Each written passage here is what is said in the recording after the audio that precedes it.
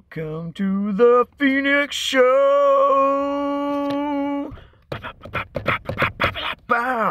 You're watching a show that's so special it doesn't need special effects. Bow. It's hot and cold and everything in between. It's all you need to go from a quarter way to full. Pushing the limits until you get to 160 and you have directions to some other place.